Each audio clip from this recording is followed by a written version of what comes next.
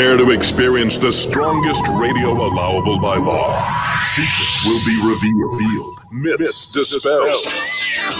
From the studio gym where excuses never apply, it's Superhuman Radio with your host, Carl Lanore.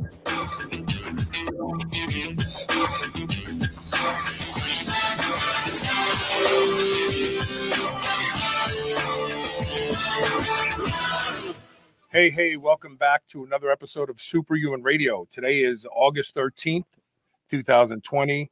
We're going to be talking about a subject we talked about before on the show, and that is uh, psychedelics, how they affect the brain. Uh, later in the show, we're going to be talking about uh, those who like to forage, people who are looking to forage. Uh, we're going to talk to a, a, father and, and daughter who have uh, made a lot of uh, foraging more popular around the country and uh, it's timely too, given the fact that so many people are worried about how they're going to get their food these days. Of course, we have to thank our title sponsor, Legendary Foods. The website is eatlegendary.com. The code is SHR10 to save 10% off everything there. Check out their nut butters. Their nut butters taste like they're loaded with sugar, but they're not. Uh, you'll feel like you're cheating, but you're not. Uh, they have the most amazing decadent flavored nut butters, and they will stay in your uh, pre- pre- prescribed uh, eating style. If you're a, a, low carb, high protein type person, you'll love them. So check them out, show them some love. Of course, feel free to post any questions during the show today. Uh, we're happy to work as many questions in as possible, uh, as long as they fit the discussion. And now I will be joined by my guest, and that is Dr. Frederick Barrett, and he is uh, over at uh, John Hopkins Medicine. How you doing? Uh, Dr. Barrett? I'm doing I'm doing well, Carl. How are you doing? Good, good, good. So, uh, why this area of interest? First of all, psychedelics. Uh, what research preceded this that uh, that made you want to know more about how they affect our brain? Right. Well, uh, I'll give you the executive summary. I, have always been uh, really interested in trying to understand my own mind and the minds of others. And and uh, I, I, my first uh, my first degree program in undergrad was music education because I had played I played music for most of my life and and uh, I I thought I, I've always recognized music as, as a really good way to kind of communicate emotionally and to explore yourself emotionally and help others to do the same. But but uh, along the way, I, I really got enamored with, with psychology and then the brain and uh, I went to grad school to get my PhD in psychology, uh, and I and I went uh, studied in a program at University of California, Davis, where I was able to use music as a tool to evoke memories and emotions in the brain. And, and then I, I learned methods of using uh, MRI and other techniques to study the activity and the changes in the brain that occur when we do all kinds of things as the human out in the world. And um, so I used music as a tool to study emotion and memory in the brain, but but music is complicated because people are complicated, and and uh, you know we have these tr- tricky things called preferences that make it difficult to to really determine what music is going to evoke a specific response in a given individual. And along the way, I uh, there was another graduate uh, graduate student at the time, Catherine McLean, who was a couple of years ahead of me, and she came to Hopkins to work with my mentor Roland Griffiths to study the effects of psychedelic drugs on people with a meditation practice. And they were able to do some brain imaging with this and she knew that I did studies with music and she said, how can you, you know, can you tell me how you design your studies so that we can look at the effects of psychedelics on emotions and we can use music to, to, to, to evoke the emotions and this all makes sense. And I basically got her to hire me so I could do it for her. And um, she subsequently left science, but, but, you know, I saw this amazing opportunity in, in psychedelic drugs. Um, that are such powerful modulators of consciousness and cognition and emotion. And I thought, well, if we can really use these as tools to understand more about consciousness and the brain and emotion, then then we may really have something. So that's that's kind of how I got into it. So that that's one aspect of the psychedelic drugs. The other aspect is that there's this, uh, let's say, for lack of better terms, this inertia mm-hmm. that occurs with brain uh, BDNF upregulation and even uh, neuronal sprouting. Um, I, I, I had the great fortune of of uh, having an opportunity to sit and talk with Dr. Timothy Leary when I was living in Las Vegas, and he came to UNLV to do a lecture, and no one showed up because no one knew who he was. Wow. And uh, yeah. yeah, I know. And and and back then, the group that he was involved with, a lot of these pioneers in psychedelics, believed that uh, you know tripping for lack of better terms, cause the right and left hemisphere of the brain to start to bypass the corpus callosum, this data clearinghouse, and communicate directly. And this is why things like uh, synesthesia and original thought were possible uh, once you started to experiment uh, with these drugs. And so we know now that, I mean, I, I think I read a couple years ago that the College of London was doing a, a large scale study with uh, low dose LSD on people who suffered from uh, major depressive disorders. I, have never followed it. I don't know what the outcome was. Maybe you do. Um, but it, th- these chemicals are really amazing because they not only uh, alter our perception of our life in the now, but they seem to have a, an effect later on as well. I mean, remember, I, I don't know. I'm 62. I remember being told by my my parents, "Don't do LSD because you'll be walking down the street 10 years from now and you'll have a flashback." They called them a flashback. I'm still waiting for the flashbacks. Like I'm still waiting for it to happen, you know. But it's these these these compounds are amazing, and there's evidence that um, uh, early uh, uh, Native Americans used them. In fact, they followed the buffalo. And It is said that those who followed the buffalo would pick the mushrooms out of their excrement and eat them, and it would it would change their lives. These are really amazing chemicals that go far beyond even just this one category of discussion today. Would you agree with that? Well, so so they they certainly do have a rich and varied history, and and there certainly was a lot of misinformation that was shared about psychedelic drugs, especially uh, in the 60s and 70s, uh, at the point at which psychedelic drugs became kind of a vector for culture wars. Uh, and and uh, I, I, you know, I want to I want to preface this by saying they are controlled substances, and you can get in a lot of trouble for for for, for seeking them out and, and using them. Um, and and they're not without their risks. These are very powerful drugs, and lots of people have used them, you know, over the past God knows how many decades, uh, and been fine. But there have been plenty of people who legitimately have run into real issues using them. So they are powerful drugs, but but but the reason that they're getting so much attention in science and in, in popular culture now is because of these really profound effects that they can have. And and a lot of the research that's going on is is focused on the acute effects of drugs. So of these drugs. So so when you're you know when you're under the effects of the psychedelic drugs, all kinds of really uh, uh, profound and abnormal things are happening. And and of course people really want to understand that uh, as best they can. And I, I think that's really really valuable to do. But I'm actually more interested in the long term effects. Um, you know what's happening in, in your brain or in your mind a week or a month or three months or a year after you've taken these drugs. And and and that's where the real therapeutic value of these drugs is occurring. So so you mentioned the the, the studies by imperial college london. Um, they they published a study in 2016 uh, where they demonstrated that two separate doses of, of psilocybin actually which is the active component in magic mushrooms um, uh, that two administrations of that compound under very controlled settings in a clinic uh, led to uh, most of the people in that study uh, who had treatment resistant depression, which means that they uh, had had depression that was long lasting, that, that uh, they, they sought multiple forms of treatment and nothing really gave them relief from their symptoms. Um, these people, after two doses of psilocybin, uh, many were at least reduced to mild to moderate depression, or some were, went into remission, if you will.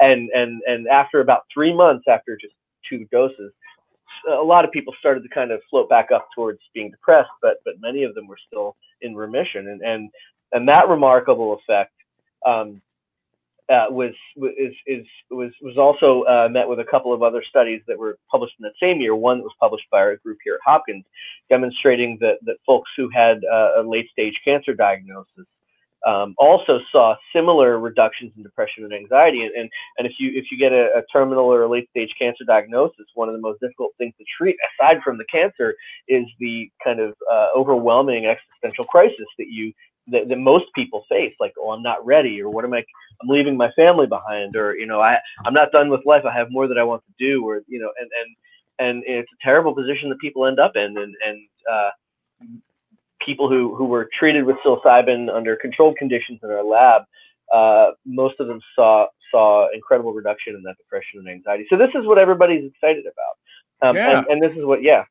for good this reason is, that's right? really useful um so talk about the area of the brain that you saw most of the activity and seems to be the focal of your your research now, right? It's called the claustrum. Is that right? Yeah, yeah, the claus the the claus claustrum. So not to be confused with colostrum, which is completely different thing. Right? right? uh, uh, uh, so the claustrum, yeah, it's this really thin kind of a sheet of gray matter that's tucked in in this almost the center of each of your hemispheres of your brain. So if your left hemisphere and your right hemisphere, and it's like right in the middle of each one.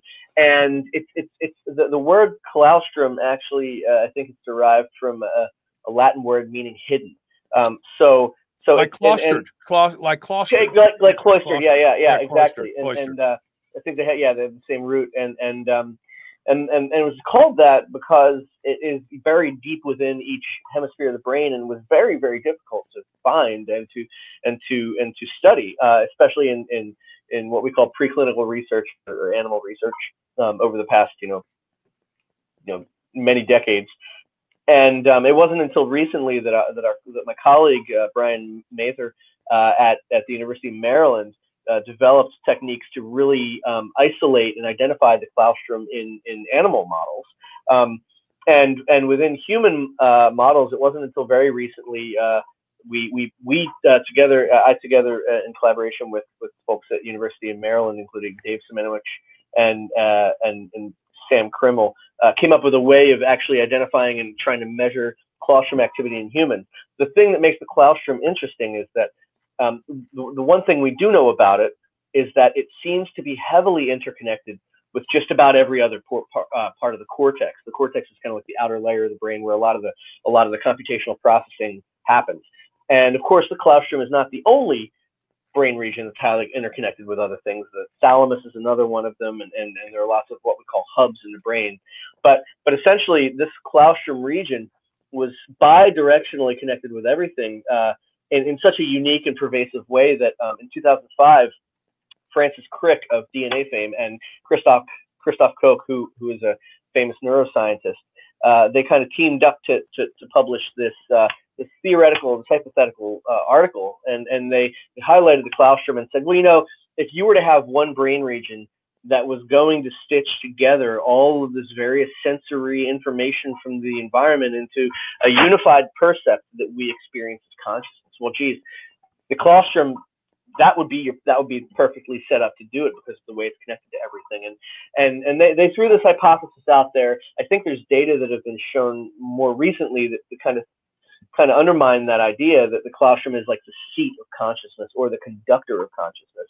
Um, because if, if such a brain region existed and was orchestrating the integration of all this information to, to create a seamless perceptive consciousness that we all experience, it would have to be active all the time. And it turns out it's really not. It's only transiently active at different points. But but in the meantime, my colleagues at University of Maryland figured out that um, that it's actually uh, active uh, and, and most active at, at, at high effort uh, decision making points in places where we have to like really rearrange our brain uh, network organization, uh, you know, functional organization to, to attend to a different thing. Like I'm, I'm closing my eyes and I'm thinking of a memory, but then the phone rings and I have to pick it up and I have to orient my attention outside or I have to, you know, make a, a difficult decision. So that, that seems where the claustrum is, is functioning uh, most. So it sounds like the claustrum is like the clutch of the brain, right? You're shifting gears. So it's, the, it, it makes the transition smooth from what you're doing here to what you're about to do.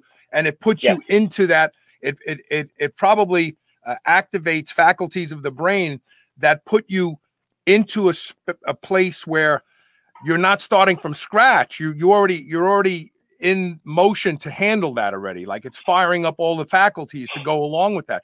That's really fascinating. Now, can we can we see that in functional MRIs uh, when people are asked to do certain things or certain life experience? Can we see that activity go up and down in this region of the brain? That's precisely what we found in, in, a, in a paper where Sam Krimmel was the first author. We published in Neuroimage, the journal Neuroimage last year, where we both uh, rolled out um, our method of trying to uh, isolate claustrum function in humans with MRIs. And we showed that that's precisely what happens. Yeah, when, when doing certain types of decision making tasks, then you see the claustrum come online. But why it's most interesting to us uh, in terms of psychedelics is because the claustrum is also one of the brain regions that very densely expresses a receptor that psychedelics latch onto. So it's the serotonin 2A receptor.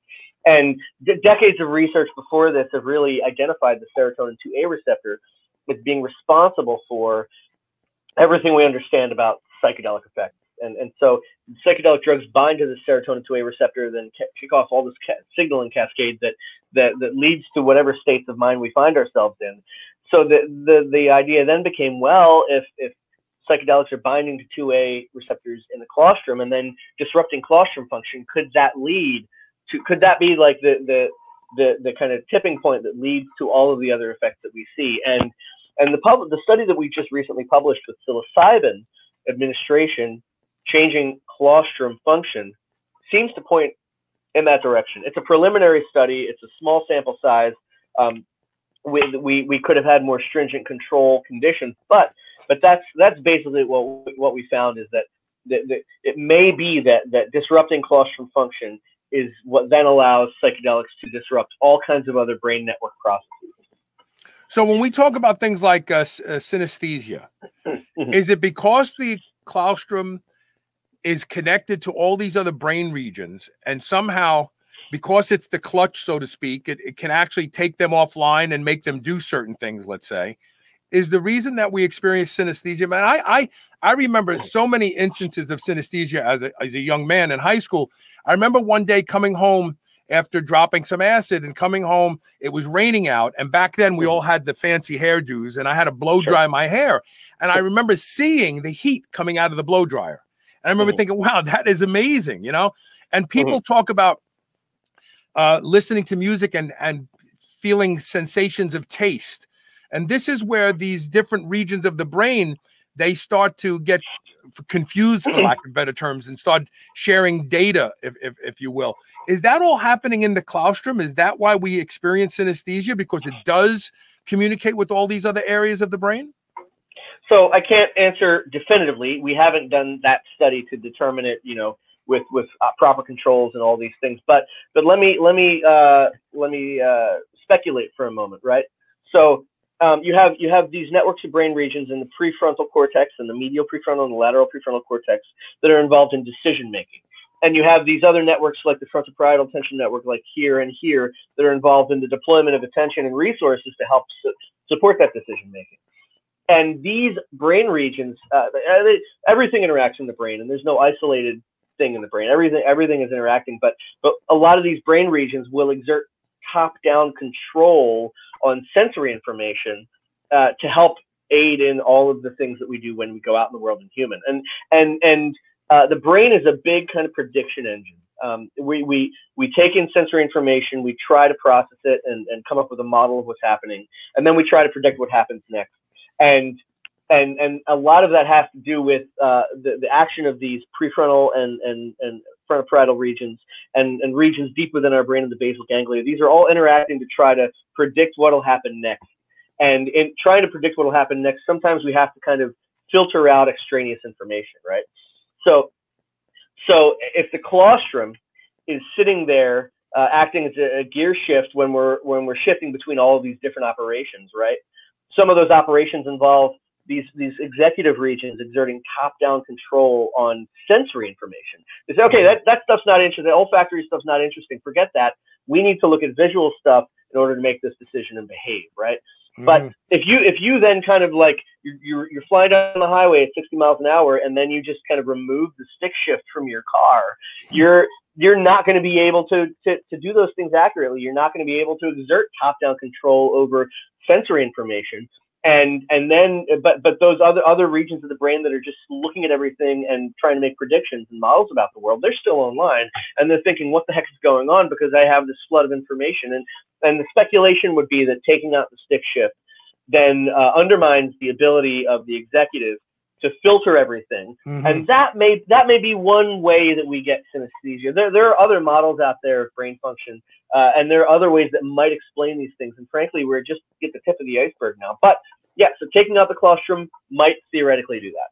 So, so ironically, um, the act the actions of psilocybin on the claustrum, I, I I thought it was going to be that it was heightened activity but in yep. fact, it reduced activity, didn't it? Yes. and and that's and, and why that's the case still un, un, not not entirely clear. Uh, our our measurements of activity in the claustrum were were not perfect. Um, we uh, one of the things we did was just look at variation in signal in the claustrum, and that became smaller. Uh, it's actually possible that that you know if if you were kind of maxing out the activity of the claustrum, it may be at ceiling, so there's less room for variation, or it could be reducing it overall. But but, but we can say for certain that it's being disrupted, and and we can also uh, well we, we seem we seem to be able to say that it's been disrupted and then we can also look at the relationship of claustrum function to other brain regions and networks and the, you know we think of uh, something called functional connectivity which may be related to how brain areas or networks communicate and that communication was reduced as well and the, the reduction in claustrum communication with higher brain regions was also correlated with a reduction in the integrity of those brain networks and, and, and the degree to which nodes in those other brain networks are communicating amongst each other. So it seems that turning down claustrum function or altering claustrum function alters all of these downstream things. Yeah. Interesting. So do you need to, and so what kind of dosing are we talking about here? Micro dosing of, uh, of LSD precursors like 1P LSD is very, very popular today. You know, psilocybin is a little sketchy because there's little standardization unless you're in a lab and you're buying something from Sigma uh, uh, Aldrich or something like that. Um, there's little standardization, so people are turning to the more chemical type uh, uh, compounds like like 1P LSD. Do you have to for these things to occur? Do we have to be on a full all out trip, or do does microdosing do this in some uh, noticeable way?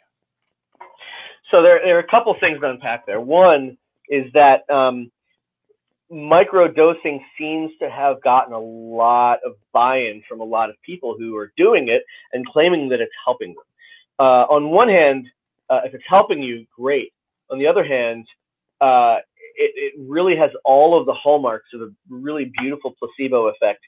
The problems include, but are not limited to the fact that very little science has actually been published on this yet. There are maybe three, maybe four studies that have been published so far on microdosing, mm-hmm. Mm-hmm. and and by and large, the the effects are a big fat zero. Um, the, nothing detectable except a, a, slight shift in the function of a brain region called the amygdala was was detected, but but nothing behavioral, nothing cognitive, nothing in creativity, nothing in perception or attention. And and I, I have colleagues who have who have unleashed an enormous battery of somewhat sensitive tests uh, on microdosing, and and they came up empty-handed. Um, uh, so so it could be that the tests that people have used so far aren't sensitive enough to detect these changes it could be that we're asking the wrong questions, but but so far, I I don't think there's any convincing actual empirical controlled science to suggest that microdosing does everything. But assuming it does, the effects that we showed in this claustrum paper were with uh, essentially a, a, a super threshold dose. They were with a larger dose than microdosing for sure. It okay. was a 10 milligram per 70 kilogram dose of, of, of psilocybin, which it's it's difficult to say. Uh, but the the average dose of actual mushrooms that it would would, would account for that are, are you know on the order of like one to two grams of of, of, of, of mushrooms, which is a substantial dose, but it's yeah. not a dose that will will uh, give you this kind of peak or mystical or kind of ego dissolutive uh, experience. And and this is only one study that we've published that has ever been published with psilocybin and claustrum in humans. So so uh, you know we're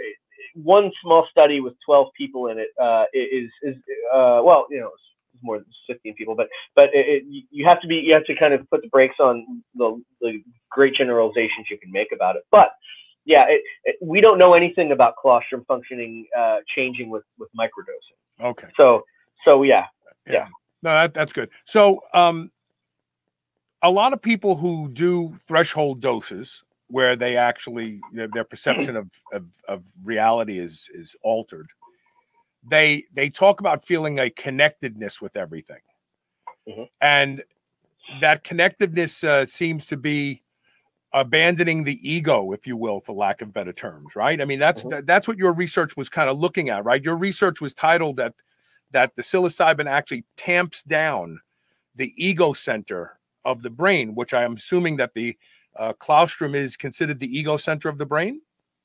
Well, yeah. To, to be completely fair, that, that that tamping down the ego center was was the press release that was released about the paper.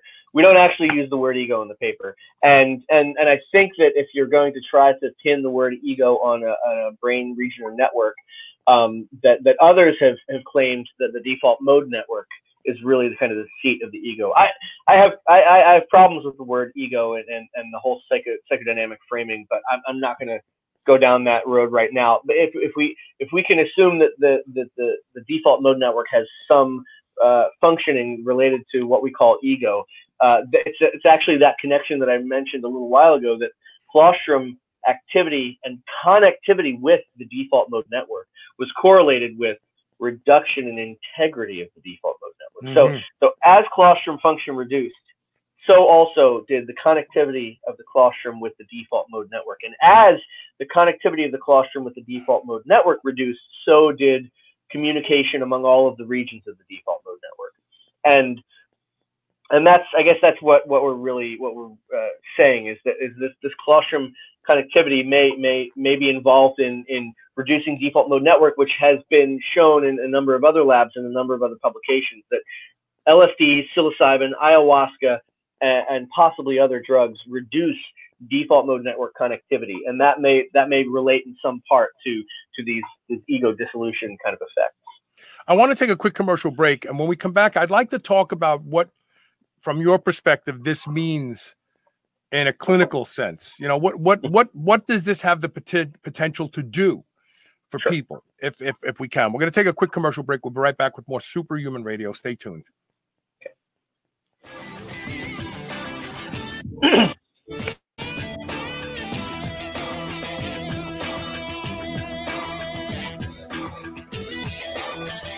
Over 11 million people in the U.S. have some form of retinal damage, also known as macular degeneration. This is expected to double to nearly 22 million by 2050. Artificial blue light, age, type 2 diabetes are all contributors. Doctors say there's no cure. ARMED is changing that opinion. In one clinical trial, 93% of patients had arrested or improved their condition. 54% reported lessening of glare, reduced dryness, and improved clarity and comfort. And 0% felt worse during treatment and no side effects. Take control of your macular degeneration or keep it from ever occurring. Go to wisechoicemedicine.com and get armed today. Do you remember those delicious toaster pastries you had when you were a kid? You know, the rectangular sugar filled snacks? Well, guess what? Legendary Foods has just made low carb toaster pastry. This is the first of its kind, and honestly, these things are amazing. They have three to four net carb, less than one gram of sugar, and nine grams of protein. You can eat them right out of the wrapper or lightly toast them. The only question is which flavor, strawberry or brown sugar cinnamon. They're available at eatlegendary.com and Amazon.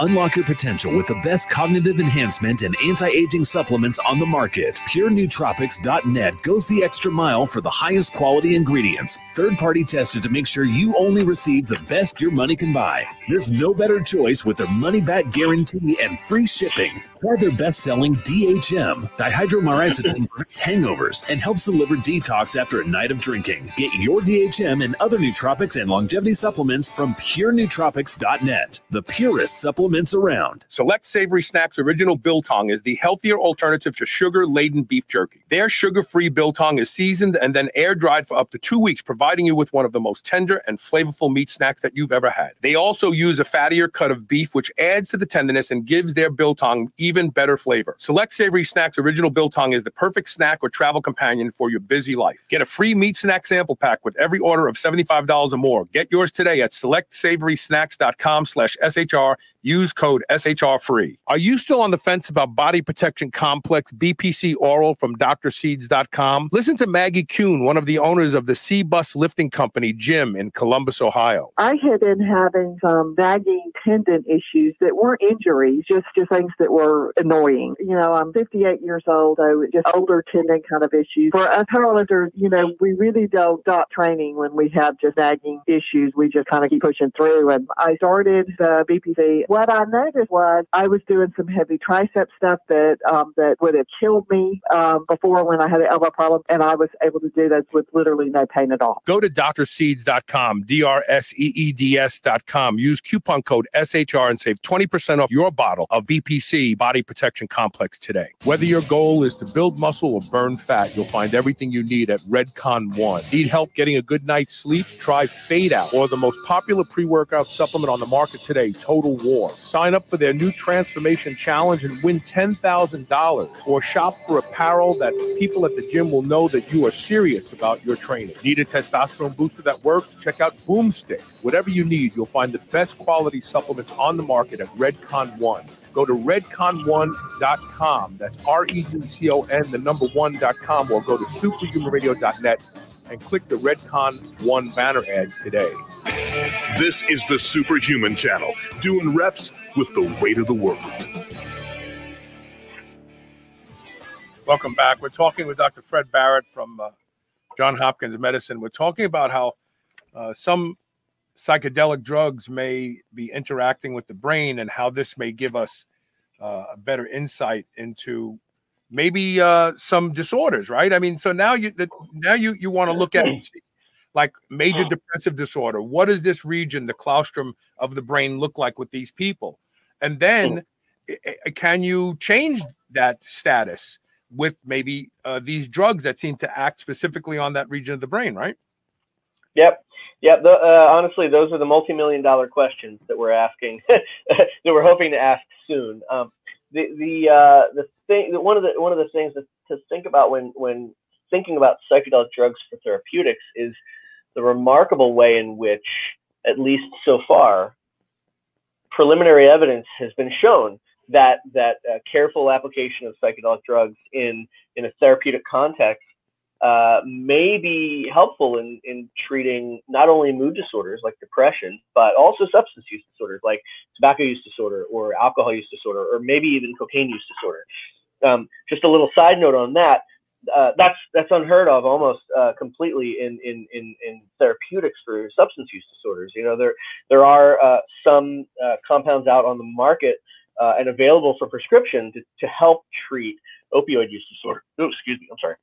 Opioid use disorder or or alcohol use disorder or tobacco use disorder. But you know, there's separate drugs, specific drugs for specific problems, right? Right. You take the patch, you take the patch or you chew gum for, for smoking. You you take antabuse or something uh, like that for, for alcohol use. You you may you may find medication assisted treatment with buprenorphine or uh, uh, you know or something similar for for for opioid use disorder. Um, but you don't, you know, you don't, you don't see these single interventions being broadly applicable for for a number of things. But almost the same intervention with psilocybin seems to possibly be effective for a lar- a wide range of substance use disorders. So, so that's remarkable. But then broadening out, you have to ask yourself, well, why would a drug like psilocybin be so effective in treating such a wide range of disorders like mood disorders and substance use disorders and possibly other disorders. Uh, you know, people are now studying anorexia and OCD and and headache, cluster headaches, and, and you, have, you really have to start to scratch your head and and and, and it'd be reasonable to say uh, this is starting to look like a panacea, and that should really worry us. Um, but wait, wait, wait, the, but wait, but what, should it worry us, or is it possible that the claustrum is the underpinning of lots of, uh, for lack of better terms, you know, uh, uh, uh, pro- problems that the brain has. That that that it seems to be the lowest common denominator of functionality of the brain. So when you alter that, you alter everything upstream from it. Well, that's great, great, great question. I, I couldn't have paid you for that. Uh, that that's that's exactly the question. So so there there could be transdiagnostic processes at work.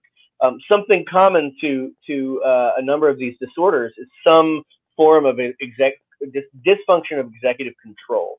Um, in, in patients with depression, there may be too much top-down control of, of, of, emotion and behavior. In, in patients with substance use disorder, there may not be enough top-down control over rewarding behaviors and, and seeking rewarding uh, rewarding actions.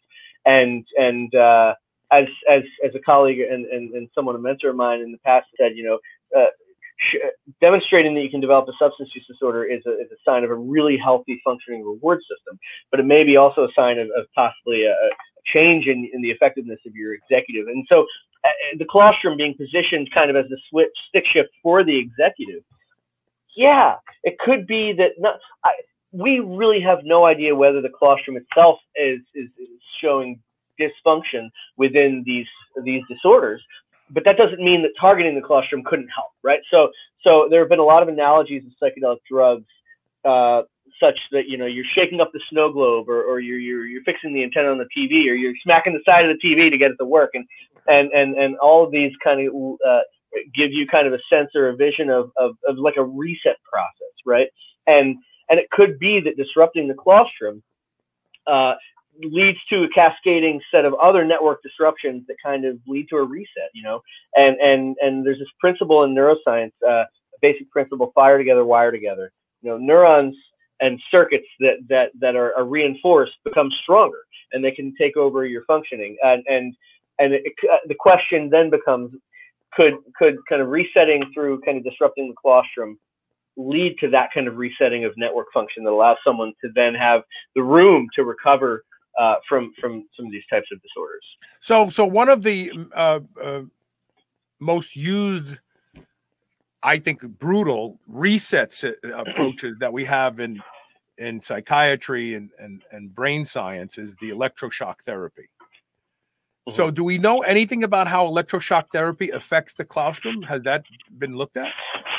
No, no, and and I'll I'll come back to the the history of the claustrum. It's been so difficult to get at for so long that the very little work, especially in humans, has been done with it. There has been work with the claustrum, uh, more work been done uh, in, in animal models, but but yeah, again, this is the tip of the iceberg, and, and we don't know what the claustrum looks like with ECT.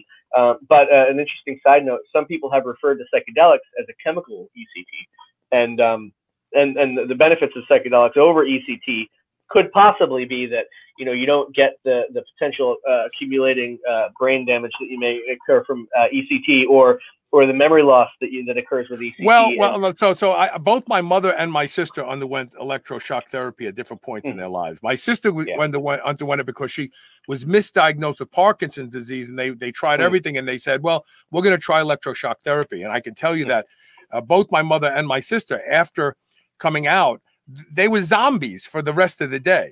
They were zombies. I mean, there was yeah. nothing there. They were hollow people, and then they would slowly kind of snap out of it. I was never a zombie after tripping. I mean, usually my face hurt from smiling and laughing for three days in a row. But other than that, you know, you you you almost have this um, renewed sense of of everything around you. You know, you kind of feel like, wow, everything feels new again.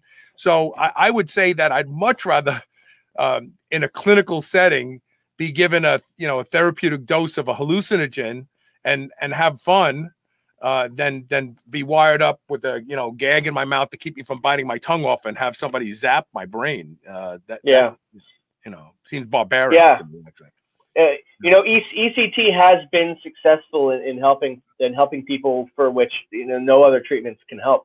It can be effective. It just does come with these clear side effects, and and it has to be repeated over time. And you know, maybe the case with psychedelics. So we may we may find out that psychedelics need to be readministered every three months or six months or one year. But but but but the the the, uh, the aftermath of that does seem to vary quite a, a, lot from from the aftermath of ECT. So explain functional MRI. How is it different than just regular MRI? Is regular MRI just static and functional means we're watching things in real time light up? Yeah, so, so I'll try my best here. I'm not a physicist, and I think to get the precise answer, you need a physicist. But basically, you know, MRI and functional MRI use the same device to do different things. Uh, the MR and an MRI can can can come in many forms. There's you know a static kind of uh, anatomical MRI that gets a real. It's almost like a 3D X-ray of your brain, but it doesn't use mm-hmm. any radiation, right? Mm-hmm. Uh, there are other techniques with MRI that that can look at uh, the orientation and density of white matter tracts in your brain, like almost like long range network connections in your brain, mm-hmm. structural connections. Mm-hmm. Other forms of MRI can look at the concentration of different metabolites in different areas of your brain, like magnetic resonance spectroscopy.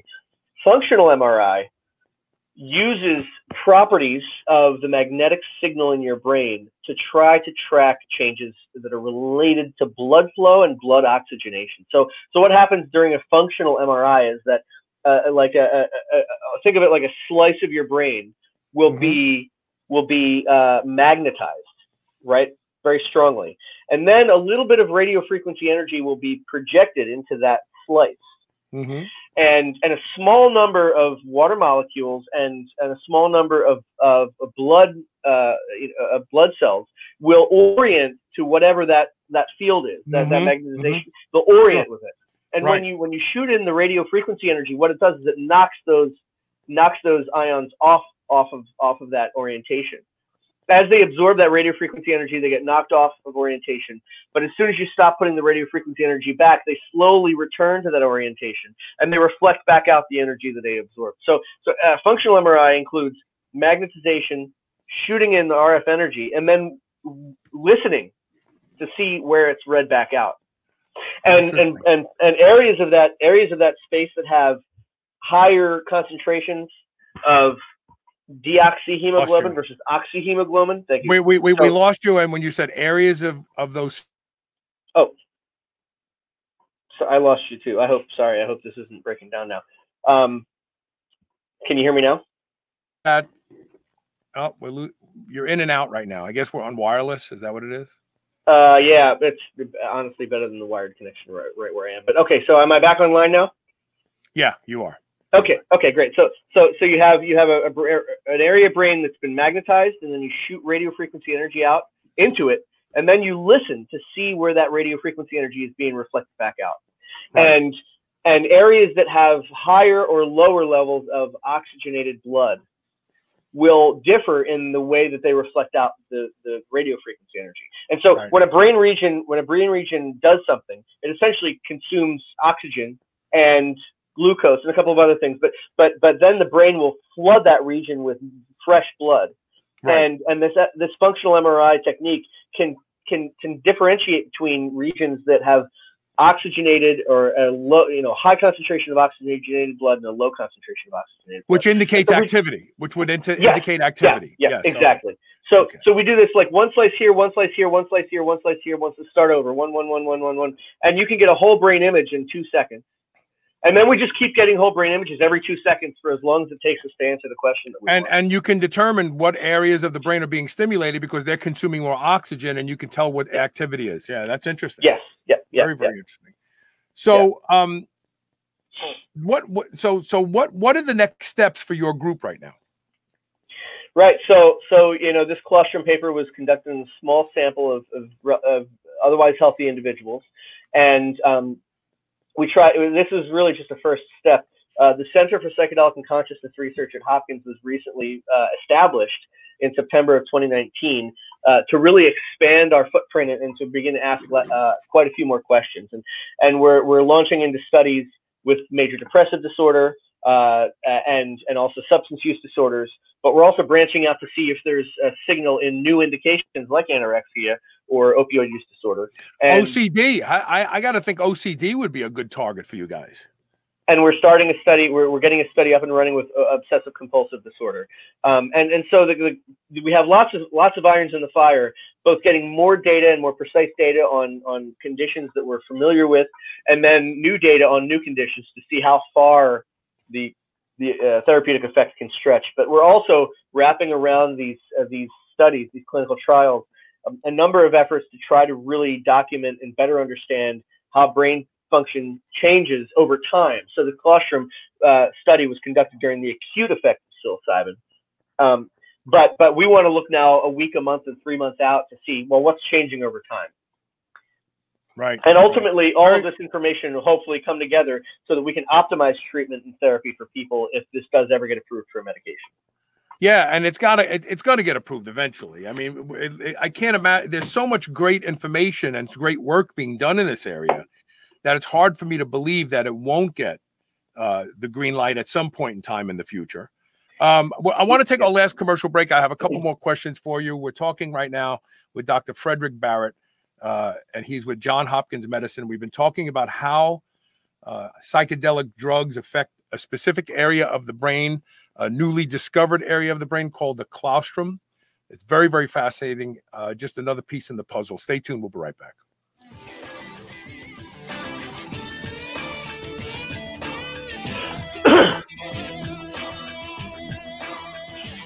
Planet Earth CBD offers a fast acting transdermal patch that targets your aches and pains for the relief you need. Not only is the patch uniquely patented, patented, but it is widely believed to provide larger quantities of available cannabinoids to the source of pain than other brands' subpar products. Effective for 24 to 48 hours. Experience the benefits of Planet Earth's high quality transdermal patch, manufactured by next generation technology in an FDA registered facility. This pressure sensitive adhesive delivers rich hemp extract directly through the skin. Be it a neck ache or a headache, you can count on CBD to take off the edge. Go to planetearthcbd.com today to learn more. I love beef. And if you love beef, listen up. I've discovered the best tasting beef in the world, and that's not an exaggeration, at Piedmontese.com. The Piedmontese breed is famous from Italy for being lean and unbelievably tender with half the fat and calories of traditional beef. Even typically tough cuts are tender when it comes from the Piedmontese cows. And for the first time ever, Piedmontese cows are being raised here in the USA. Get two free 10 ounce New York strips when you purchase $50 or more at Piedmontese.com with code SHR. Go to P I E D M O N T E S E com and use code SHR today. You will never eat any other type of beef ever again.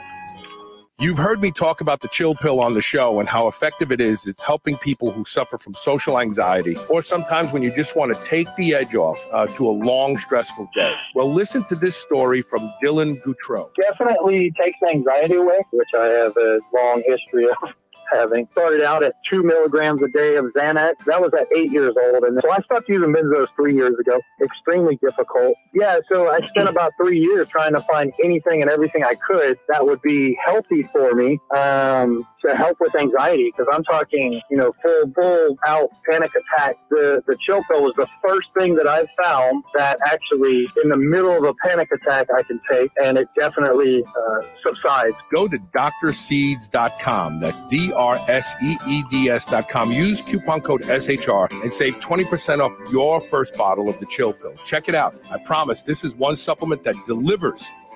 If you suffer from digestive issues like gas, bloating, cramping, even when you're eating healthy, nutritious foods, then you could probably benefit from a high quality enzyme. As you know, I'm a mega fan of Bioptimizers. They're one of the few supplement companies who I use religiously because their products work. I asked them for a great deal for my listeners and they over delivered. Right now, you can get a bottle of Masszyme for mm-hmm. free. All you need to do is pay a small shipping fee and there's no catch, no tricks, no forced continuity, nothing to cancel. They're so confident in their product that they offer a 365 day money back guarantee. I'm positive you'll love the results. I strongly suggest you head over to their site to grab your free bottle before this offer runs out. Go to masszymes.com slash SHR free. That's M-A-S-S-Z-Y-M-E-S dot com slash S-H-R-F-R-E-E, all one word. You will automatically get access to your unique coupon code to claim your free bottle, and there's a limit, one per household. Quest Nutrition makes bars, cookies, chips, and pizzas out of complete dairy-based proteins.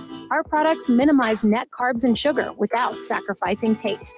Each delicious chocolate flavored chip, cookie chunk, and crunchy crumble is custom made to maintain Quest macros. It's time to enjoy foods that work for you, not against you. It's time to enjoy your Quest. Chronic stress leaves us tired, distracted, and physically vulnerable. Apollo Neuro is here to help you take control. Apollo Neuro is a new wearable that trains your nervous system to be more resilient to stress. Apollo's gentle vibrations use your sense of touch to help you recover from stress, going from fight or flight to rest and digest so you can relax, get to sleep, focus, and stay healthy. Developed by physicians and neuroscientists, Apollo Neuro has been tested in multiple clinical trials and is proven to improve heart rate variability, the key biometric of stress. Special offer for friends of Superhuman Radio. Try Apollo Neuro today and get 15% off your purchase at apolloneuro.com slash superhuman. That's A-P-O-L-L-O-N-E-U-R-O dot com slash superhuman. Spit that out right now. This is the Superhuman Channel.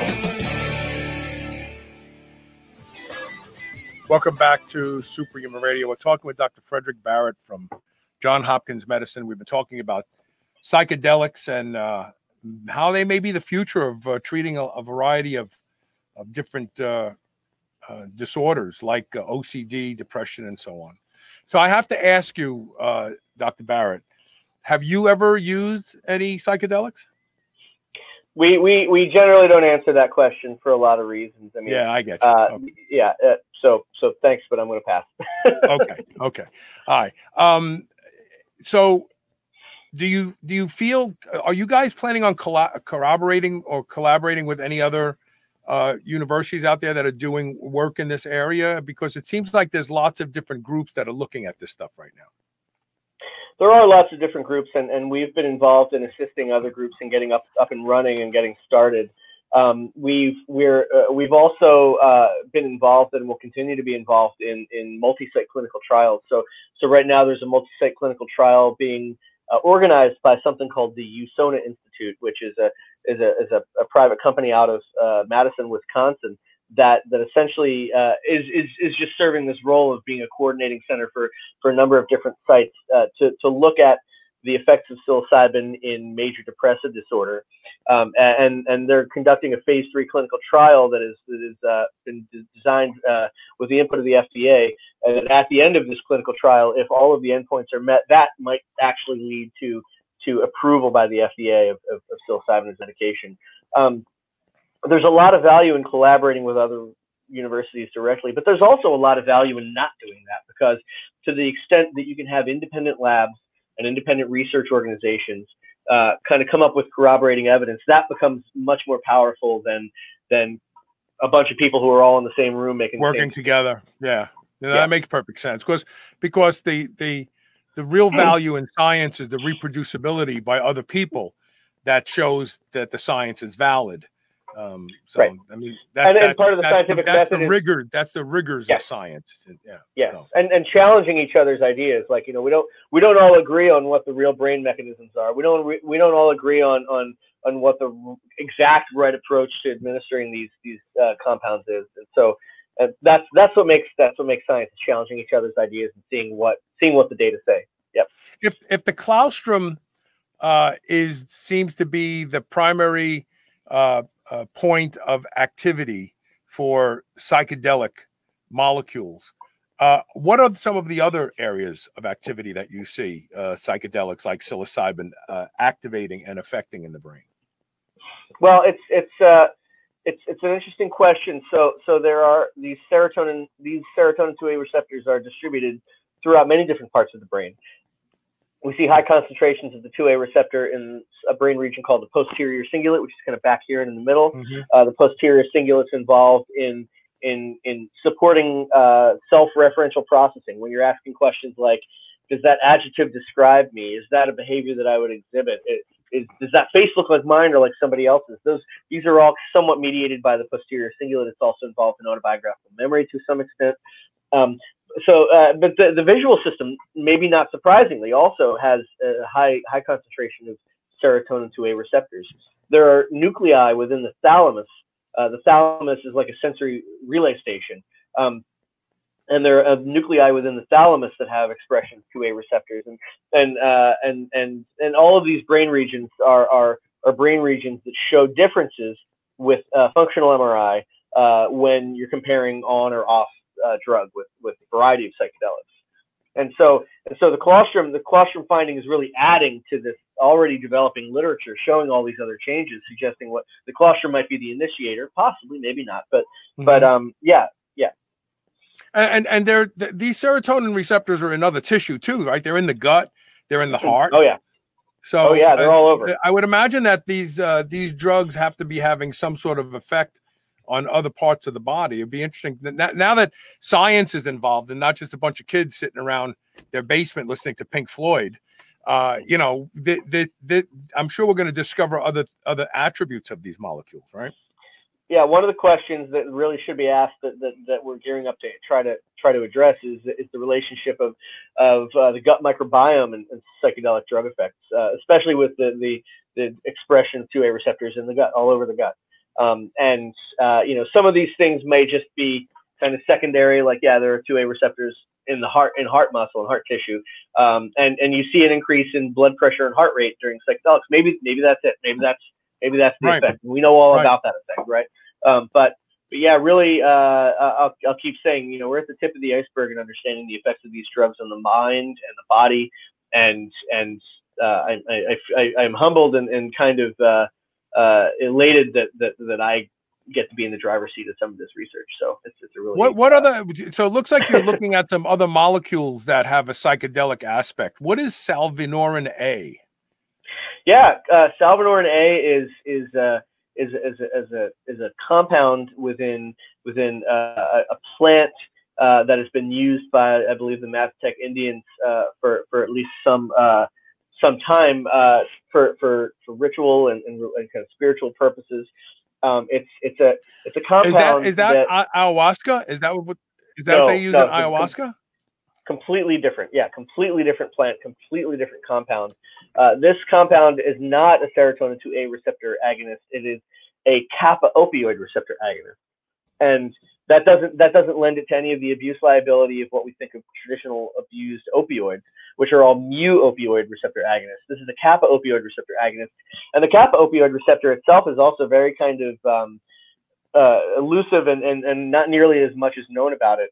Um, there are individuals right now and, and for some time now doing studies on the kappa opioid receptor to see if it has anti-nociceptive, so some kind of pain relief uh, uh, qualities, whether, and how it interacts with mu opioid receptors.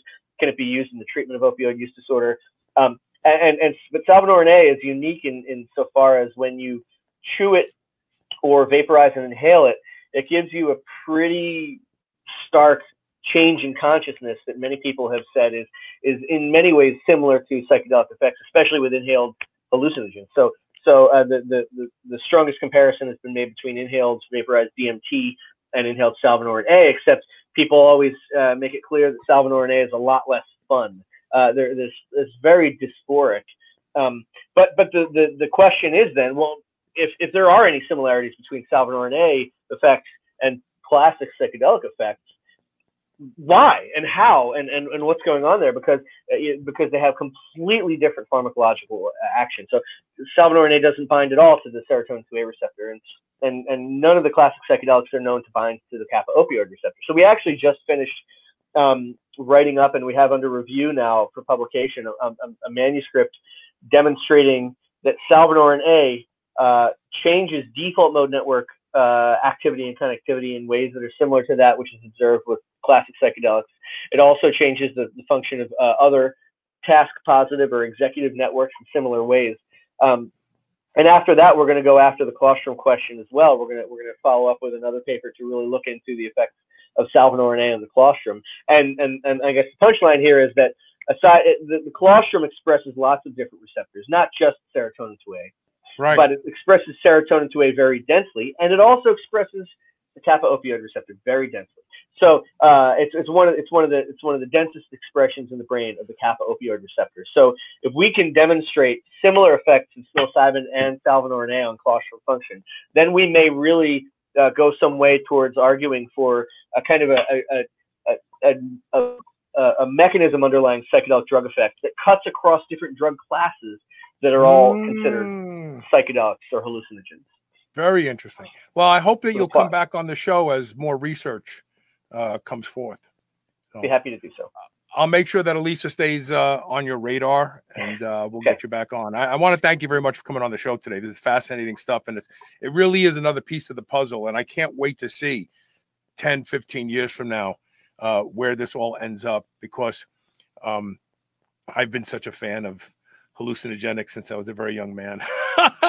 and all of a sudden it's become in vogue again. And I'm and I'm I'll I'll say it. I you know I I I tripped more than uh, uh than a lot of other things that I've done in my life when I was a young man. And so there you go. Listen, thanks so much for being uh, on the air with me today. Take care. Well, thanks. Thanks for your interest. Right. All right, we're going to take one quick commercial break. When we come back, we're going to talk about foraging. That's right. And it's becoming more popular now that people are shut down. You can't get toilet paper. If you could find that in the forest, you'd go get it. But you could clearly find food if you know what to look for. And uh, we're going to talk to my two guests in a moment Violet Brill and uh, her dad, Steve Brill, uh, who are experts in foraging to teach you uh, how to forage and uh, not run into something that that kills you. Stay tuned. We'll be right back with more Superhuman Radio.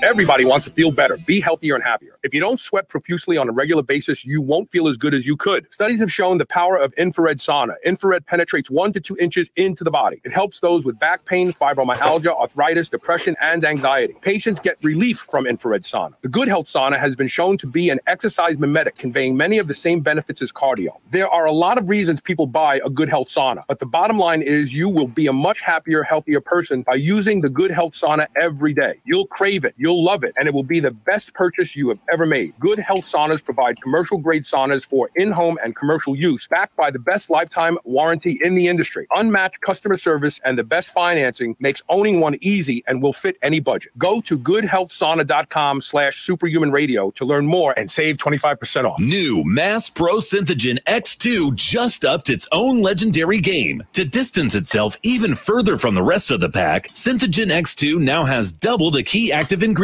If you've ever wondered what steroid like recovery feels like, Synthogen X2 delivers. See why others compare it favorably to powerful bodybuilding drugs at synthogen.com. Mass Pro Synthogen. When you train with it, you'll gain with it. Select Savory Snacks Original Biltong is the healthier alternative to sugar laden beef jerky. Their sugar free biltong is seasoned and then air dried for up to two weeks, providing you with one of the most tender and flavorful meat snacks that you've ever had. They also use a fattier cut of beef, which adds to the tenderness and gives their biltong even better flavor. Select Savory Snacks Original Biltong is the perfect snack or travel companion for your busy life. Get a free meat snack sample pack with every order of $75 or more. Get yours today at selectsavorysnacks.com slash SHR. Use code SHR free. Unlock your potential with the best cognitive enhancement and anti-aging supplements on the market. PureNootropics.net goes the extra mile for the highest quality ingredients, third-party tested to make sure you only receive the best your money can buy. There's no better choice with their money-back guarantee and free shipping. Try their best-selling DHM. Dihydromyricetin prevents hangovers and helps deliver detox after a night of drinking. Get your DHM and other nootropics and longevity supplements from PureNootropics.net,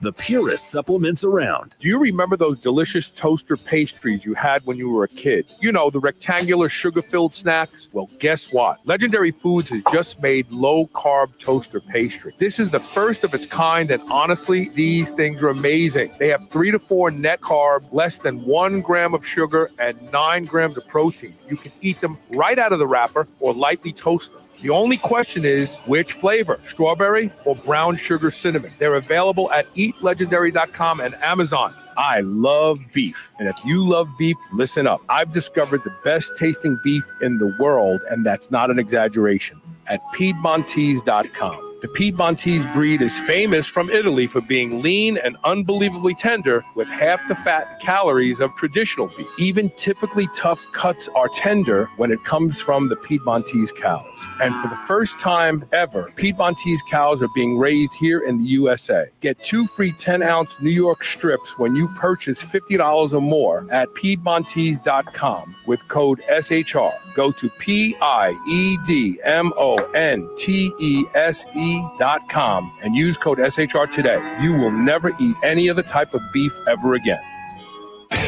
This is the Superhuman Channel, doing reps with the weight of the world.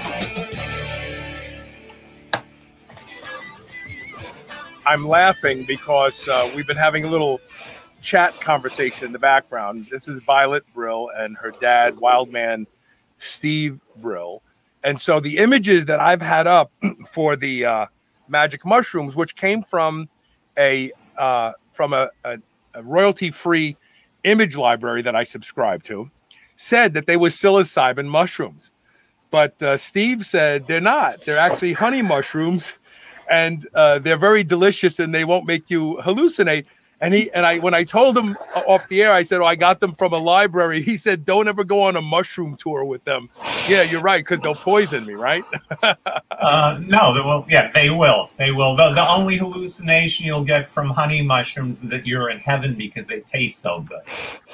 Interesting. And they are they are deadly though. If you're a tree, if you're in stay an, if away it's from tree, them.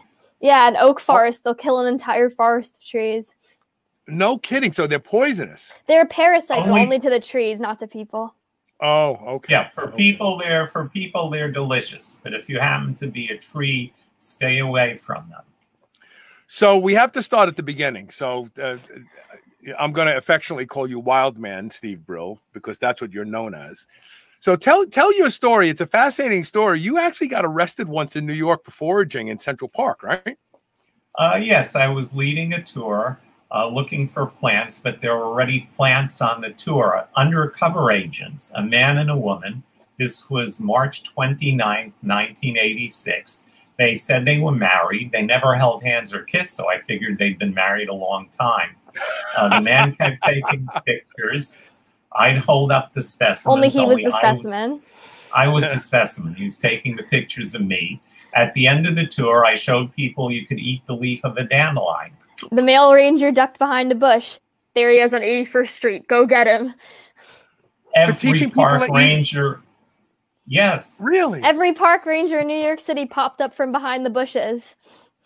they this surrounded is me fascinating. in case Now- now I keep in going mind- keep in mind- tree. My grandmother, who was from Italy, used to go out and pick dandelion uh, on the on the sidewalks in, in Brooklyn, this you know wherever she could find them, and they would put it in in salads. They would make it in, and I could be wrong about this, but there's a No, they're delicious. Yeah, and there, isn't there a song called "Polk Salad Annie"? Yes, isn't so poke salad dan? Oh, it's different. No, Okay, I thought it was dandelion. We'll, we'll get into Okay. that one. We'll get into that one next. Okay, so Uh, so so, they- they, they- so what were you what were you doing wrong? What did they say you were doing wrong? Well, the rest of the story, so they tell they um hauled him off him to the police station and they handcuffed. searched my they searched my backpack. I don't He know. didn't if know if he was looking for weeds or weed. Um, but uh, Uh, okay, so uh, they thought maybe you had you had marijuana on you. You think is that what they thought you had? no, no, they knew I was teaching people to eat the dandelions. Uh, I was uh, handcuffed. Uh, they searched me, and I was in the police station for three hours. I was charged with criminal mischief for removing vegetation from the park. There's Which would include like a kindergarten kid like taking out a colored leaf from the park in the fall. Yeah, the regulation is obviously meant that people are cutting down the trees or something, but not eating dandelions. They had an ulterior motive, which I'll get into later. But um, uh, since I'd eaten all the evidence, they had to let me go with a desk appearance summons that said I could uh, go to jail for up to a year. I was charged with criminal mischief, uh, but it was a big mistake. Uh, I went home and uh, called every every TV station, every wire service, every newspaper. The next day, on the way to the newsstand, five cops stopped. me. What do you want? I said. I haven't eaten a single dandelion today. I haven't even had breakfast yet. They said, We don't care. We want your autograph.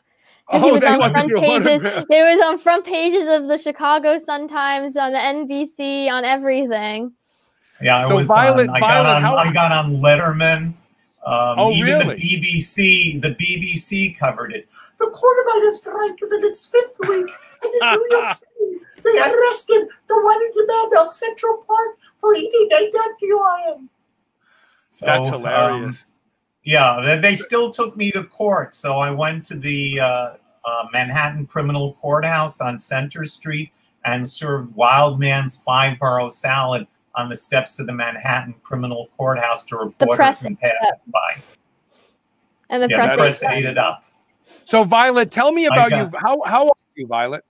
I'm 16 and I started coming on the tours when I was two months old. And I knew all the plans by the time I was six, and I was helping people to like come out to get. I was out going out of the stroller and helping people find the plans on the sidewalks. And and then um, by the time I was nine, I was co-leading the tours. And since I just grew up with everything, it all just like comes to me when I look at the forest. Instead of seeing just the forest of green and brown, I see actually like all the plants and know how to use them. And then last year, I started leading my own tours, and I work with kids and at camps and day camps and with school classes. Yeah, but let Okay. me finish the story of, of Yeah. getting arrested. Go Uh, they go got so much bad publicity, they dropped the charges and hired me to lead the same tours I was leading when I was arrested. This went viral in 1986 when there wasn't such a thing yet. And I worked for the Parks Department for four years, and it turned out, to answer your question, the real reason they arrested me is because the administrators were terrified of frivolous lawsuits, imagining that if they allowed me to do foraging tours, someone would mm. pretend to have been foraging, poisoned themselves, and sued the city. It's called false arrest, and I wish they'd do it again. That's something. So they would, and, and it's true. There are nothing but frivolous lawsuits out there. I could see them worrying about that, but arresting you, that's not the answer. I mean, that that was silly. Who was the mayor at that time? That was Koch, and the parks commissioner was Henry Uh, Stern. I liked Koch. I actually liked him. I thought he was a good mayor. I thought he was a good mayor. Well, that that, that uh, Koch got so many angry letters that he told Stern, "What's this wild thing all about? Settle it." And then Stern uh, reversed and hired me. That's funny. That is funny. So foraging is becoming even more popular today in the wake of COVID 19 and people having to be shut down and going to the grocery stores and not finding uh, the foods that they want. Uh, people are, are kind of uh, reawakening to this idea that hey, I could probably find what I want right here in my backyard or in in the wooded area behind my home, right? Yeah, people Oh, have been doing this for thousands of years. Before this time, people, the Native Americans used plants like black birch, which has um, low dose aspirin in it, and you could use it as a painkiller. All the native plants before it it was turned into farmland and then settlements, it was all north. The northeast was all forests. So people have already been using it for thousands of years. And now that COVID is happening, they're definitely we've definitely been seeing more people being interested in foraging and turning to foraging now that um, the grocery stores aren't all open and people can't exactly get what they want and everything outside has the same nutrition and health benefits that a lot of the stuff in the stores do if not more and it's definitely a great alternate resource for people besides the So groceries we, we we talk about evolution on this show a lot, and we always talk about hunter gatherers. We were hunter gatherers for for the majority of evolution. We were hunter gatherers. For this small sliver of time, we go to grocery stores, we go to the refrigerator. So it's it's very very different. But what you're doing is nothing more than our ancestors did every single day, right? They they walked, they found food, they chewed food, they walked some more, they found some more food, they chewed some more food, right? This is this is natural. Yeah, well, they didn't actually have to spend that much time finding their food for the day. Uh, less time than going to the store and waiting online at the checkout counter. The stuff is just out there, and it's pretty easy to recognize. If we have people who come on about 10 tours in different parks at different times of the year, uh, they know uh, well over 90% of the common edible plants, and they see them over and over again in different seasons. It's actually a very easy subject uh, to learn if someone teaches it to you. With me, I had to learn it on my own with uh, with books. This is before the internet, but and it, it took a while, and we're still learning things. And Mhm. we just found a new wild mustard we'd never seen a few days ago. Uh, we were in uh, um, German Pennsylvania for a Mhm. family tour. We live in uh, Westchester, New York. So uh, new habitat. We only been there once, and immediately a new plant. Yeah, so everything, once people on the tour see it once, then they go outside and they see it over and over again. And I grew up with it. So, like, to me, it's like recognizing, like, what lamb's quarters or common plantain is outside in our backyard. It's like recognizing what a tomato or a carrot is in the grocery store. It's just all different Right. plants from different um, air, from like our area instead of fruits imported from like the tropics. So yeah, what? we so, have invasive. ahead, We have invasive things also from other countries that the native people did not have. Uh, so we actually have more wild foods than the Native Americans did, uh, right. uh, which Right. can be dangerous. I mean, I have so many recipes now. Uh, I open my freezer, one of them can fall out on my foot. Really?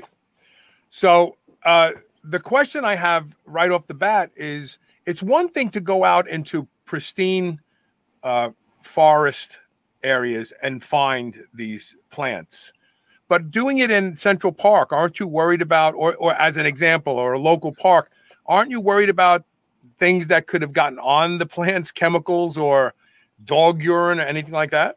Well, in the first, so first, so in the country, when there's in like the forest, there's also a deer. The deer eat a lot of the plants that we're searching for. And when we go into um, the city parks, you don't pick anything near traffic. Um, if there are dogs, we say to wash everything off when you get home, but we don't pick or like right near the fences or anything away from traffic. Mm. And yeah, and so we'll clean everything off. And um, there's different habitats in the city. So instead of walking just through the forest in the country, you may not find what you find in disturbed habitats and open fields, like the little invasive plants, like a plant called wood sorrel. Sorrel means sour, it tastes like lemonade. Um, burdock, which is the root you can use and tastes like potatoes. And mm-hmm. it's different habitats. You can literally go from a field to a wetland to into the woods, just like that. And you can find majorities, like a majority of all the um, stuff that we harvest is from these disturbed areas that aren't just all shaded out by the trees. If you're going right. for mushrooms, then again, then late summer and fall, you go into the oak forests and under pines, and then you get all of those. Is yeah, it, is except it, when you were when you were ten, when you were ten, we're driving along a suburban street on the way to uh, Inwood Hill Park, and uh, what did you spot? I found a thirty-pound right. chicken mushroom. Just on a tree on yeah. someone's someone's driveway. And those are and delicious did, mushrooms. Did you go remove it?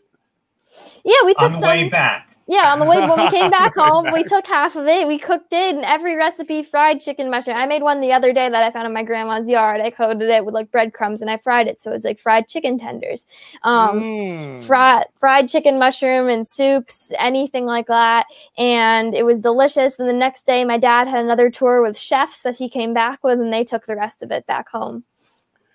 Yeah, so I'm sure it, the homeowner it, didn't care that we removed a fungus, uh, an awful fungus yeah, from his tree. and it, it, would probably dry out and be gone in a, in a, in a week anyway. They wouldn't even know it was gone.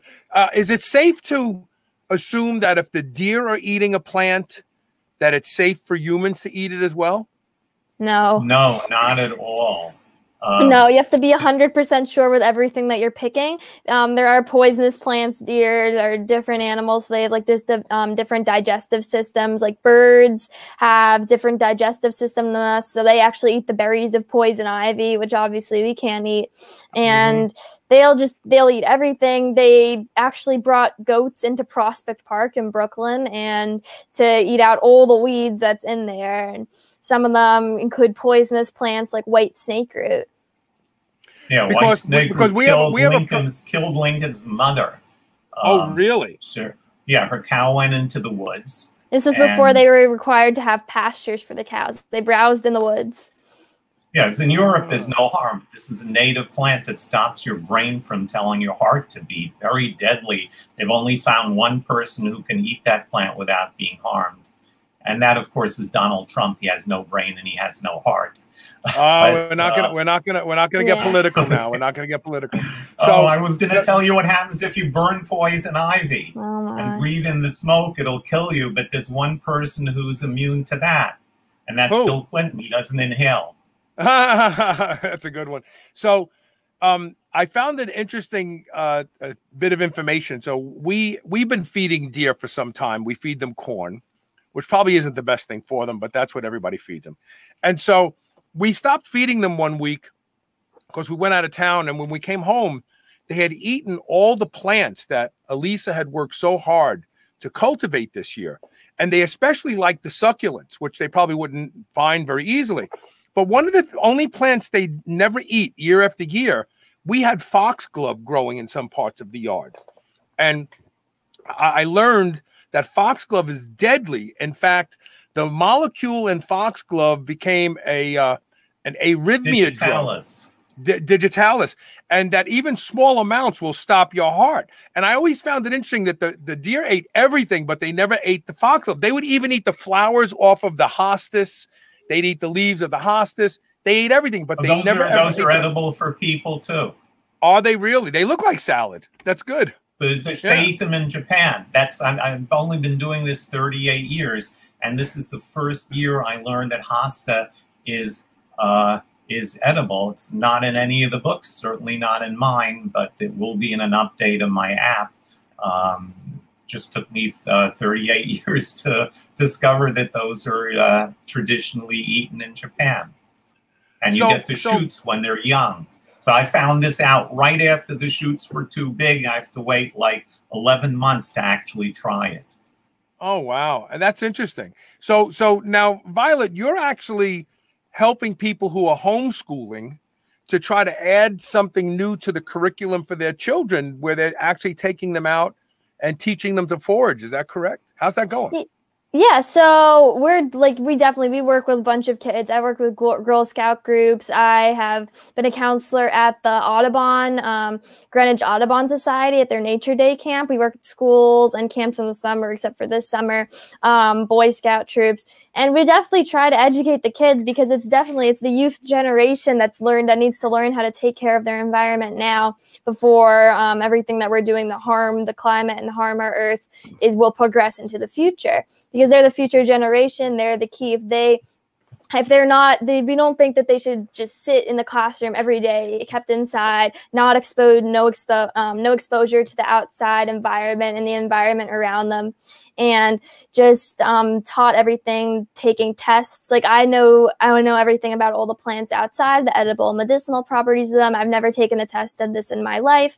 And you really have to connect them to the outside world because that's if they have fun doing something outside they're not being forced to learn something or forced to memorize something then they're going to want to take care of it in the future so we still have earth and they're really the key to doing that. And we'd have kids come on the tours we have them come on the tours they have their family and they have fun and we're playing games with the plants. We have a book foraging with kids and it has stories about the plants folklore and mythology and we really try to get the kids engaged in what they're doing what they're learning so they're going to have fun doing it and continue to take care of the environment when they grow up Yeah, then the generations? sticks. yeah, and we've had generations come on our tours. We had a homeschooling group that we always took to Bear Mountain, and um, and we've had the mom who came on the tours when, or the dad when he was a kid, and then the mom, and now there's a little girl, and she came on the tours. There was um, this man Ruben who came on tours, and my dad when he was a kid with my dad,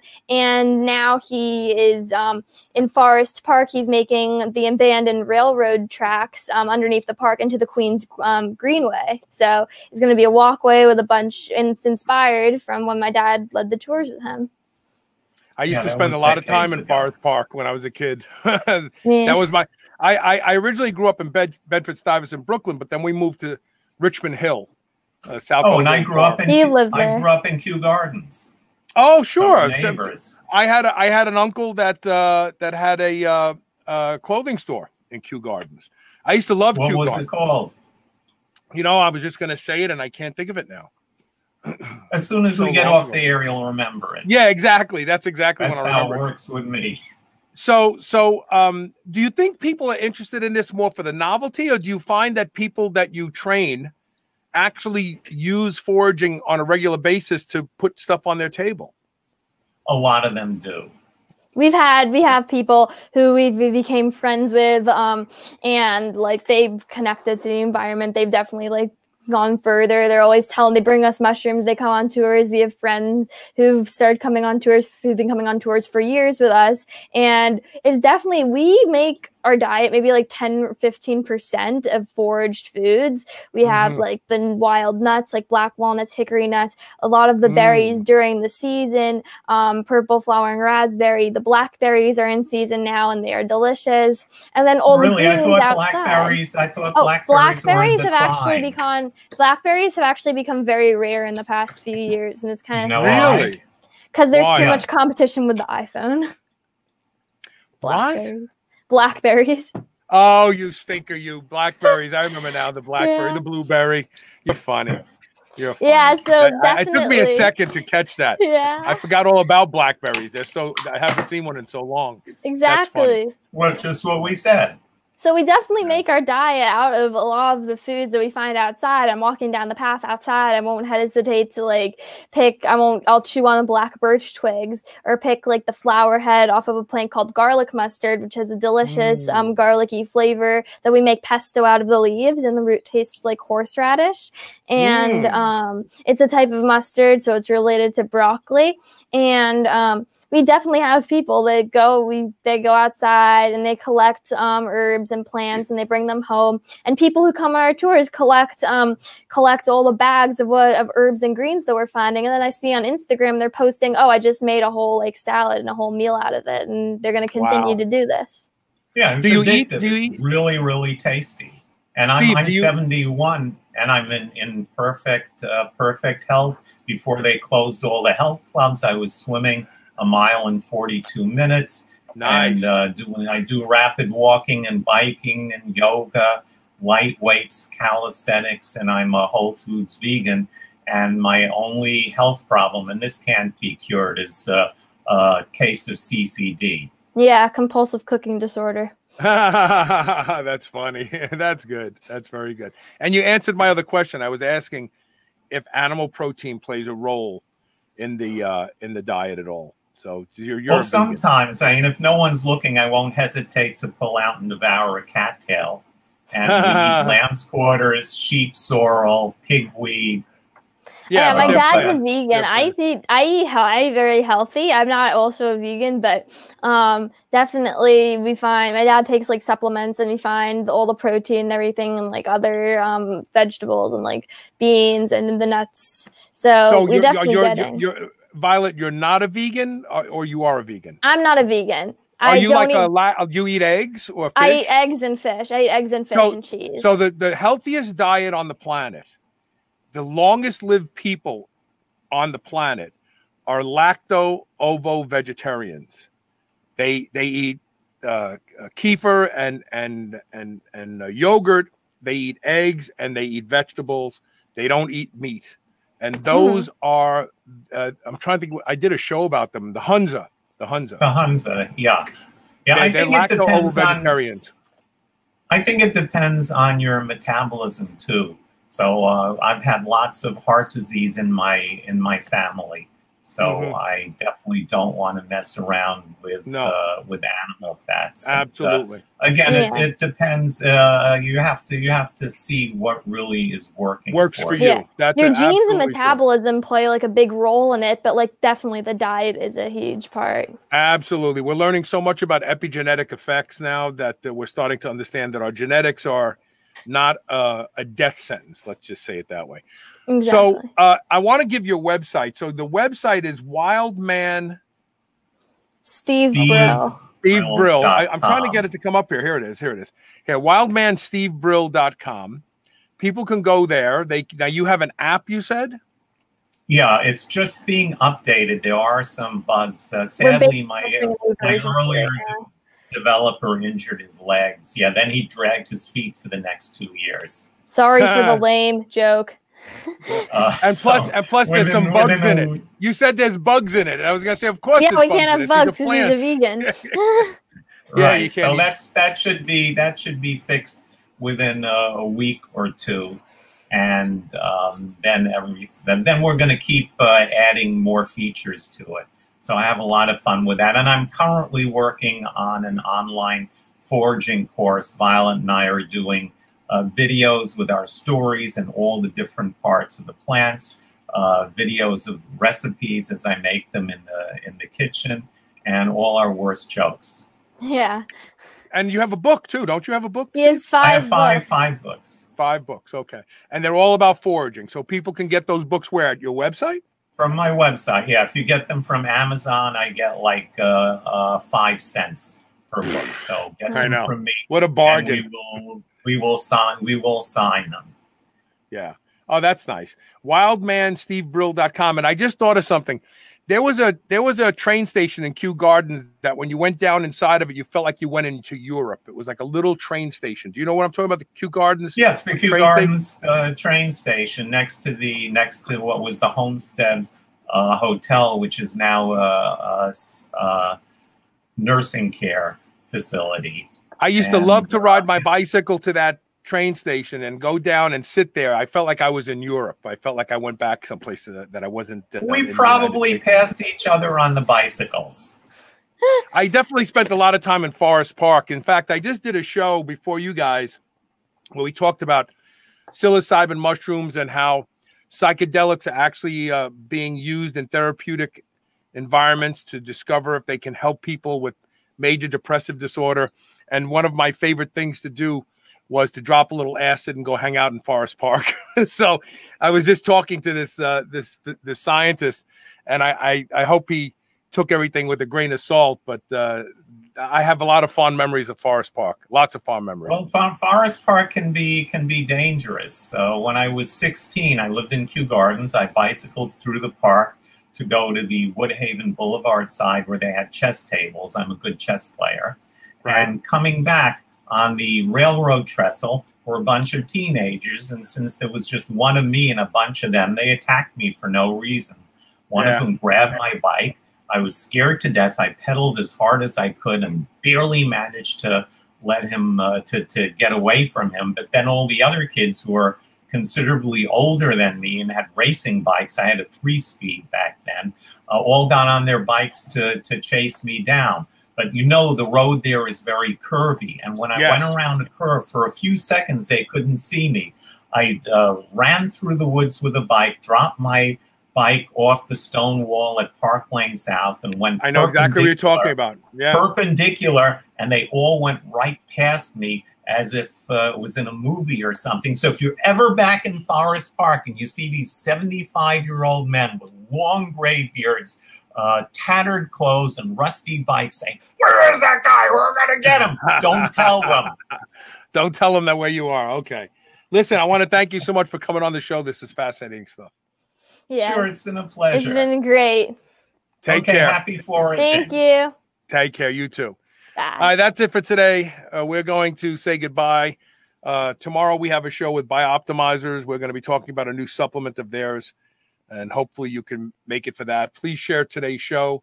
Uh, help people learn the truth about health, fitness, and longevity. We'll see you tomorrow. Don't forget, uh, check us out on Instagram at Superhuman Radio. See you tomorrow.